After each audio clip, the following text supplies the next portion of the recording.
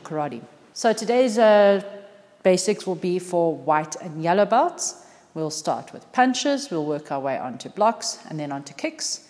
And hopefully, we will take it to about half an hour of training, and that way, you will have more than enough footage to follow along when you're at home. If you're training in lockdown and you're staying safe, thank you. We appreciate all the work everyone's doing around the world to stay safe and to train safe. For now, feet in Heiko dachi position, uh, parallel under your hips, not wider, not smaller, straight down from your hips. To make things easy, we're going to start with a basic chamber. You will see different schools. The chamber may be lower, it may be higher. Ours is over the short ribs, elbows back. Please, no chicken wings. Draw your shoulders blades back and down. Imagine you tucking your shoulder blades into your back pocket, and that brings down the shoulders and opens you up.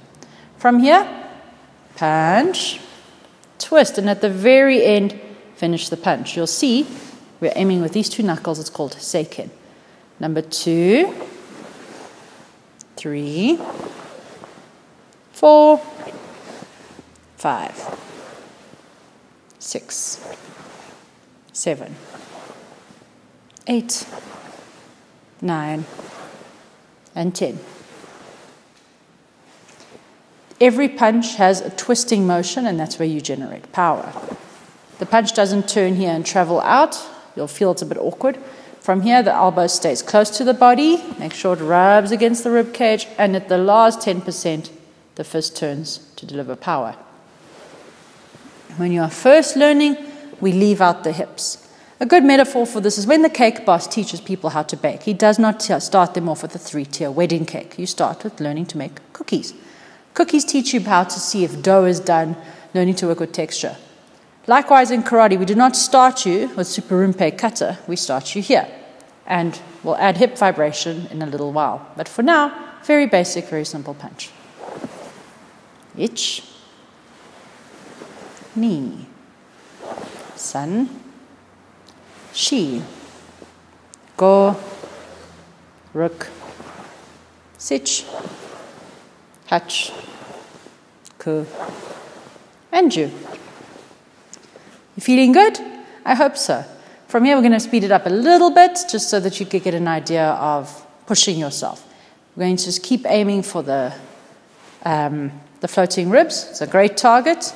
Better than aiming for the belly because if they've got, oh, hope I don't upset the microphone doing that. If they've got a lot of muscle or fat here, it's not as good as a target as over the ribs. In fact, you can take your fingers, dig them into your ribs here, and you'll feel how uncomfortable that is. That floating rib is your target. A little bit faster now. Ich, ni, san, shi, go, ruk, sich, hach, ku, chu. Good. Now we're going to do three heights, and then we're going to move on from the punches to blocks. So from here, face punch. You must aim over what would be your own mouth. It helps to do this in front of a mirror to make sure your target is correct and true. So, over your own mouth, ich, ni, san, chi, go, ruk, sich, hach, ku, chu. Chest again, ich, ni, san, chi, go, ruk, sich, hach, ku, chu.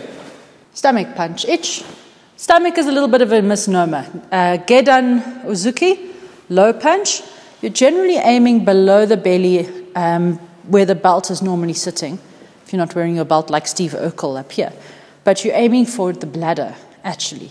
This has got lots of muscle, lots of fat protecting it. Bladder, not so much. Ich, ni, san, shi, go, ruk, sich, hach, ku, ju. Another exercise, working on left and right, face punch itch, chest punch knee, gedan or low punch sun. Ich, ni, san, ich, ni, san, ich, ni, san, ich, ni, san, ich, ni, san. One of the great things about karate is it teaches something called midline crossing, which is very important for coordination in, student, in children. But it's also something that adults need to work on. And the more we cross left and right side of our bodies, the more we cross left and right side of our brains. It helps build much stronger neural pathways. And there are studies that have been found to help that martial arts helps with uh, neurodegenerative diseases. So, no matter how old you are, these blocks can still be challenging. So, we're going to break them down into little manageable pieces. Because how do you eat an elephant? One bite at a time. So, from here, uh, how I start with teaching my students, making Wolverine style X block and up. From here, secret block. If you watch our video on Shuhari, you'll see this broken down into eight moves.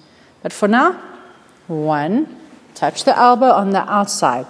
Instructors, this is to help children from blocking on the inside. Must touch the elbow on the outside, pull back, and up. You'll see that fist turns all the way. It's not resting on the forehead, it's not too far, nice and strong. Tighten that armpit. Two, secret block, elbow, face block. Secret block, elbow, face block. That hand is pulled all the way back into chamber because there's a hidden move there. Secret block. Touch your elbow, face block. Secret block. Touch your elbow, face block. Hitch. Knee. Sun. She. Go. Rook. Sitch. Hatch. Ku. And you. Okay, let's speed it up a little bit, make it a little bit more smooth. You ready? Let's start here.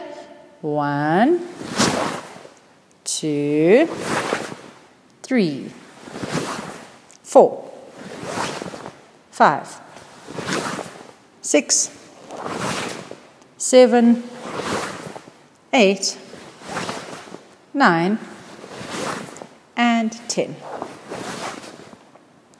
That's your face block. Protect the face, protect the whole body.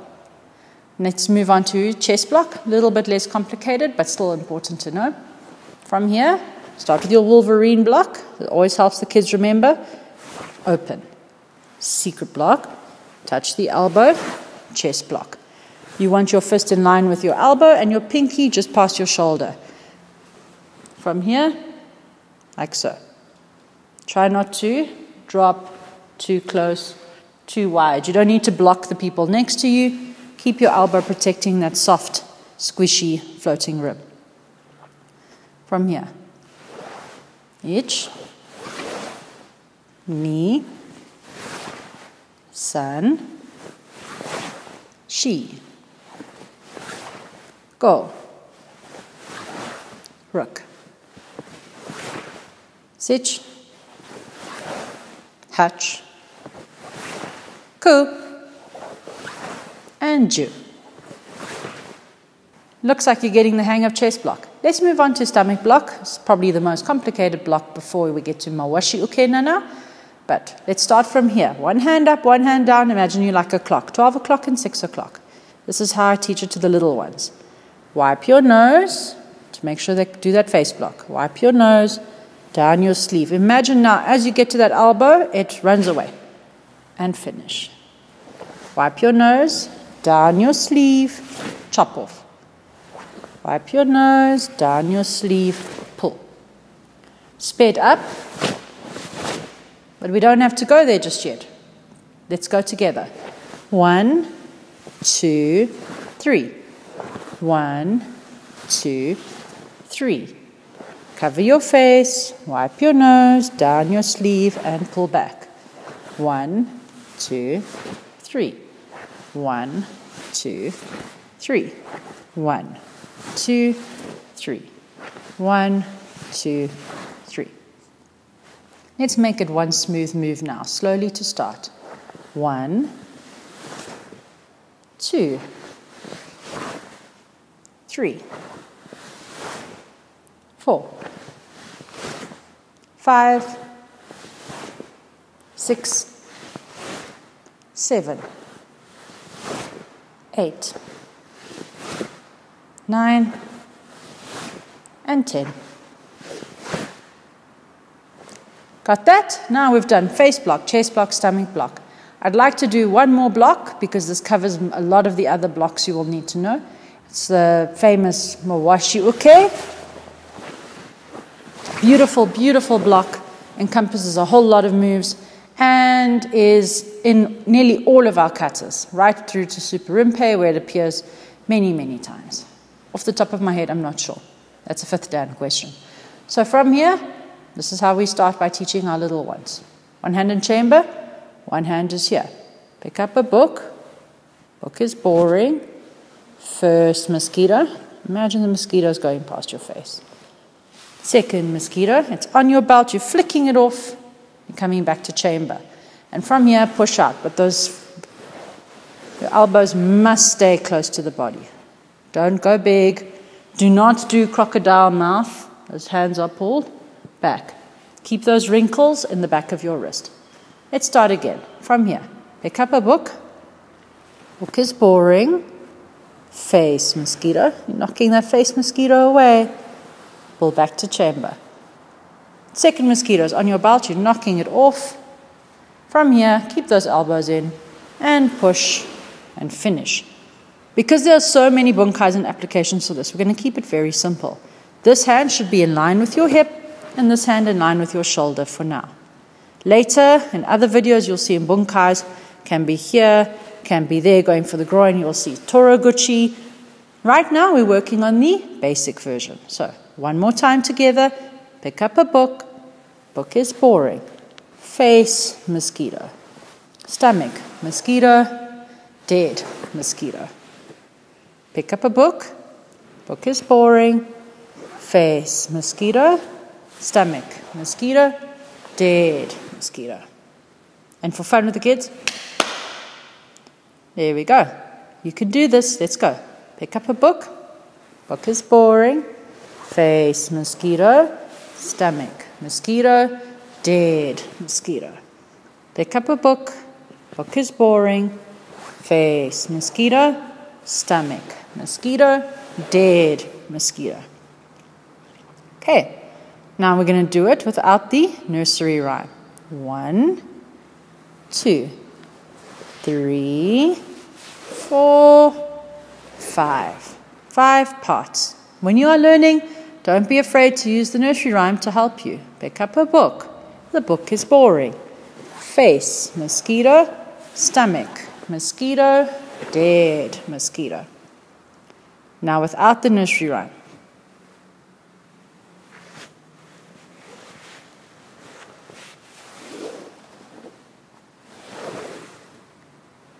One, two, three, four, five.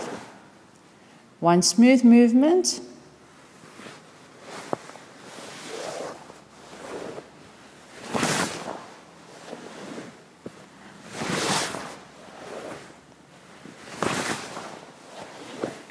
If it's too complicated, break it down. We're going to do it slowly together. One more time. Pick up a book. The book is boring. Face, mosquito. Stomach, mosquito. Dead, mosquito. I'm not going to do very complicated kicks. We've done videos before on different styles of kicks or the more complicated ones. I would like to teach you, though, how to do a very basic Mae Geri because this will come up in most of your katas. It's a great kick. It doesn't require huge amounts of talent. It doesn't require huge amounts of skill. It requires a couple of um, basics, some fundamentals to get a good, solid kick. When a guy tried to mug me once, this is the one thing that came to mind after many years of training, and it worked. Dude ran away. So, there's that for it. That's my anecdotal story there. So, from here, hands up, or you can have open hands, it's up to you. Uh, we like to teach basics just to keep working on that fist and that grip strength from here. Feet once again in high Heikodachi. Lift your knee. Your kick fires from the knee. So if your knee is low, the kick is low. Bring up your knee to about there. From here, pull your toes back. I'm going to go from the side. See the toes are pulled back. From here, knee, toes back. Strike with the ball of the foot back and down. Oh no. From here, lift your knee. The higher your knee, the higher your kick. Low knee, kicking the smurfs. High knee, kicking the target. So from here, pull your toes back and fire. From the side, lift your knee up, pull your toes back, hit with the ball of the foot, back and down. One, two, three, four. One, two. It's very easy to get into the habit of only practicing on your favorite leg. It's good to train both. So let's go together. We're going to do about 20 Maegeri. Ich, ni, san, she, go, rook, sich, hutch, ku, and you. I'd like you to aim for my belly button in the camera. Okay, use that as your target. Itch, ni, san, she, go, brook, sich, hutch, ku, and you. And to go with that, hizageri, knee strike. We like this because it, does, it works very well for when you're in close range. You have a gigantic weapon here, the whole knee. It's harder to break things compared to using your toes. And the bunka I'd like you to visualize is grabbing the person. One moment. We're using these dudes in the dojo for the little ones to do randori and kicking drills because obviously with COVID it's not safe to do partner work and won't be for a while. So at least they can knock these guys around um, and we also use it with the adults with certain drills as well. For an adult, they're the perfect height for Kansetsugeri. Good job. Right. Hizageri. So from here, you have your opponent, and Hizageri is great for an incapacitating blow when they're in close range. Especially, and I hate to be a downer, but as a woman's self defense, not necessarily for the groin, men are expecting that. But grabbing the back of their head and introducing their face to your knee is not a bad idea. Hizageri, knee strike. Itch. I want you to bring your hands down to get that feeling of bringing something to the knee. Knee. San. She. My toes are pointed. Go. Rook. Sich. Hutch. Ku. And Ju. Another 10. Ich. Ni. San. shi, Go. Rook. Sich. Hutch. Ku. And you. Let's put all of these basics into one sequence that you can practice at home. Now, this kata was developed by uh, our friends at Palm Court Karate, by Sensei Mario and I think by Sensei Aubrey Peterser, I stand under correction. But this kata actually isn't really an ojikeke kata or a goju-ryu kata. It's a kata developed for teaching children. What I really like about this kata is it's only 10 moves. You can teach to someone in their first class. It gives them something they can take home. And it's uh, very easy to learn. So we're going to do kata daiichi from here. Rei. Katadaichi, yoi. Jump, pull back, both hands into hikite. Ich. The jump is for kids to help them learn uh, proprioception and how to move their bodies in space. Very helpful. Left hand, chest punch. Right hand, chest punch.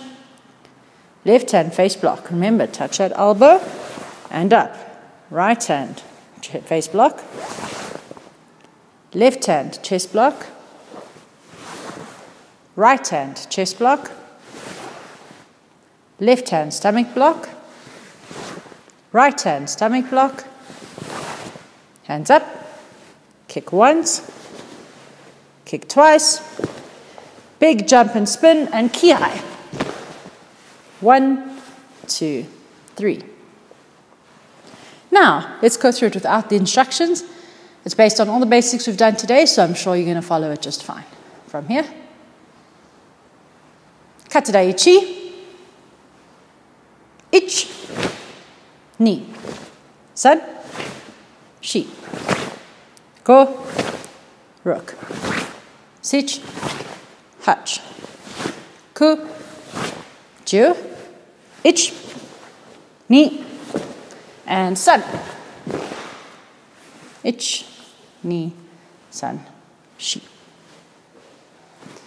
And obviously, I'm sure you're going to move from this video to Gekisai Ichi, which is the first uh, true kata of Goju Ryu, and it's part of our white and yellow belt syllabus. Uh, to all the Jaguars who are watching this, hopefully this helps with what we've been doing in class and what we'll always do in class, regardless of whether you're a five year old white belt or a 50 year old white belt.